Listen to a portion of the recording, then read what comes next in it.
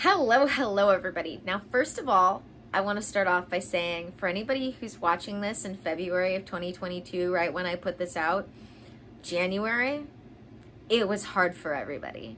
Even the most resilient of us, even the most spiritually centered of us, January sucked. January of 2022 sucked balls. so you're not alone. You're not alone. It was miserable for all of us, and it's going to get better. It's about to get better. So just hold on, take a deep breath, take this wild ride with the rest of us, put on a smile. It's for you, nobody else, and it will actually make you feel better. Thank you guys for joining me for another video. Today I want to talk about snake oil as opposed to real spirituality because it seems like the things that are the most interesting and intriguing and attractive to us are the most snake oilsy. And the things that are the most like real, true, deep spirituality, like digging for the truth sort of stuff, like that, that's actually less attractive to us. It seems less magical than the lie, than the illusion. And so I want to talk about that because there are so many things. Like, first of all, the whole reason why this came up at all was because I saw somebody repost something about hematite rings. And if you don't know what a hematite ring is, it's these shiny little gunmetal gray rings that get sold at bookstores, especially spiritual and occult bookstores, at the front register for like a couple of bucks and they're going to tell you one of two things about these rings if they tell you anything at all. One is that they will soak up negativity for you so that you don't receive the negativity and then when it breaks off it's because it took in too much negative energy. Or they're going to tell you that you make a wish on it and then when it breaks your wishes come true. Neither of these are true. What is true is that hematite is a really cheap rock that breaks really easily. That's not to say that hematite isn't a stone with spiritual properties that can't be used as a spiritual tool. Absolutely. But it doesn't break because anything happened. It broke because it's a cheap stone that breaks easily. Another example of this is stones that get sold as other stones, like amethyst or howlite, are two great examples of stones that get dyed or changed and then get sold, sold as other stones. Citrine is a really nice orange, but light orange, like even kind of a light yellow stone. And yet they will take amethyst and they will heat it until it turns this bright orange that looks nothing like real citrine and they will sell it to people who don't know any better and tell them that it's citrine when it's really amethyst that was just heated up really hot until it turned from purple to orange. Spiritual snake oil.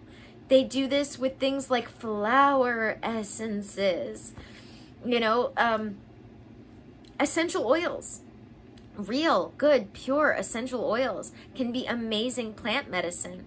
Flower essences, on the other hand, or just essential oils that were collected poorly don't have the plant medicine and can possibly either be diluted or filled with chemical crap. Like the idea of a flower essence, like um, uh, dollar sections of places, even some of my favorite places will sell you the essence of flowers or the essence of oils or plants or fruits or oh, and they're really a bunch of chemical crap and that completely defeats the purpose. And the sad thing is the organic industry has really become this as well. Like apparently as long as a product has I think in America 5% organic uh, something in it, then it can be called organic. It can be labeled organic, but that's 95% unorganic.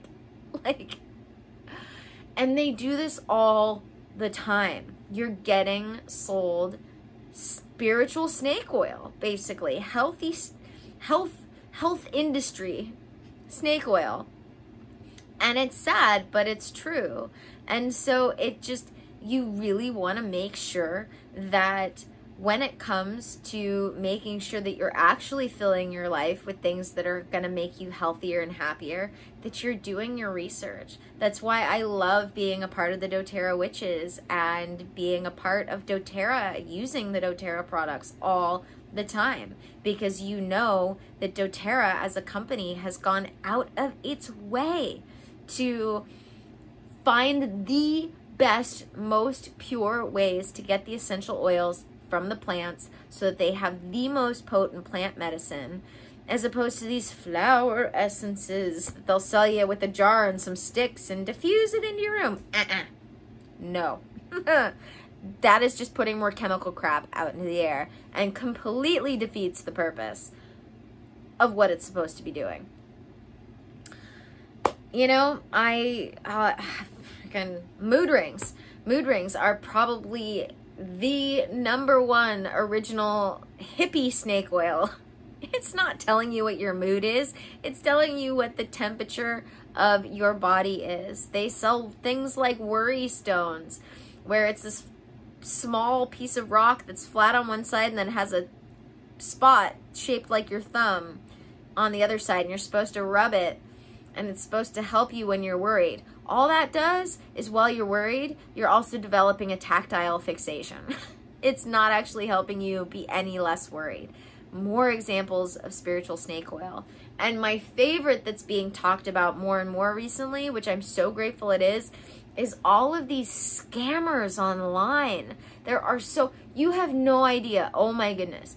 I am probably contacted by a scammer once a day at a minimum online all of these people telling me the Orishas have sensed my bad juju and I'm supposed to buy something from them to make it go away. Like it's the new Nigerian prince is the spiritual card reader or energy reader or mystic who's going to sell you a spell that they do that you don't even get to see and you're just going to give them money and it's like no. No. The only person I have ever even considered giving money to do a ritual for me that I wasn't going to get to see was my Caro Paco mentor. And I ended up not even doing that. but that's because I knew that if I wanted to, he would actually do it. These people, not so much. They're going to take your money. They're going to tell you a bunch of potentially motivational stuff, which, you know, eh, if that's all you really need, more power to you. But you're being sold a bunch of lies and then just going and doing it yourself. And is that really what you want? Is having someone just sell you a bunch of sell you on a bunch of motivational quotes that they probably got from a book you could have read yourself um, and actually gotten more of because you read the book yourself rather than like handed one tiny quote out of it by someone who gave you a fake tarot card reading. And part of the reason why we talk about this so much in the spiritual circles online recently is because these people are approaching people in their message boxes on Instagram, on Facebook, on things like that. And your average real spiritually centered person who is a practitioner in some way, offering their services to others, aren't showing up in your message box approaching you. They're waiting for you to approach them or they have some sort of link that you can click like I do at the end of my videos. I say, hey, and by the way, don't forget to check out the links in the description. And that's it you know and that's the same goes for the way i function on instagram. You know if you want a counseling session if you want a coaching session if you want a reading an energy reading or a card reading from me you're not going to be approached by me. I'm going to be waiting for you to approach me. Did that did i say that right? Yeah i'm not going to be i'm not going to be approaching you ever. That's what i meant to say you will, ne- yeah, you will never get approached by me at all. Like, I'm never going to show up in your message box and be like, hey, you want my stuff? It's not going to happen because Well, because I'm not a scammer. Because that's something that that scammers do.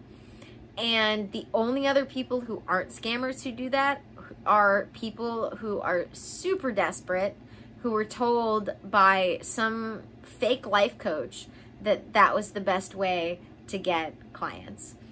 It's not a wrong way necessarily to get clients if you're willing to have just turn and burn clients, I guess, but it's not a way to build a lasting relationship, I'll tell you that.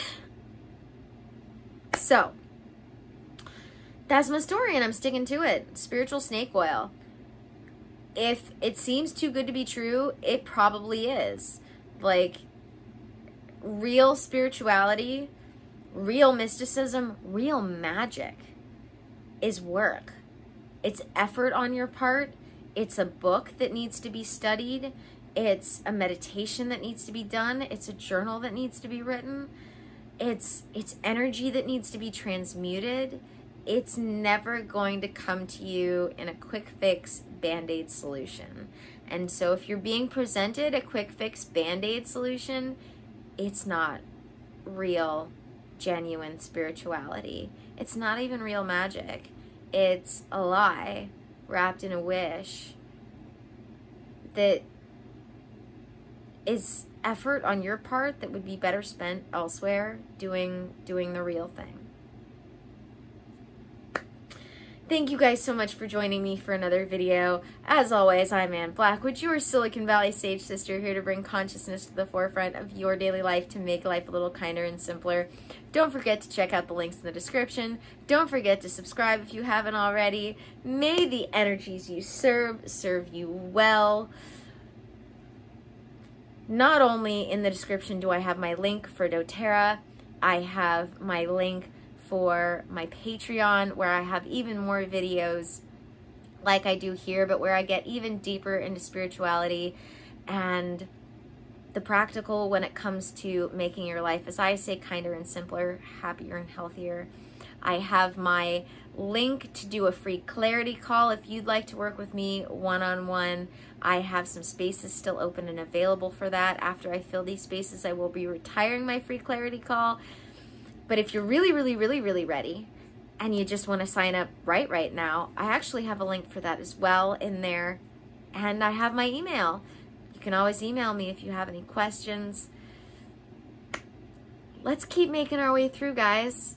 I am. I can do it. So I know you can too.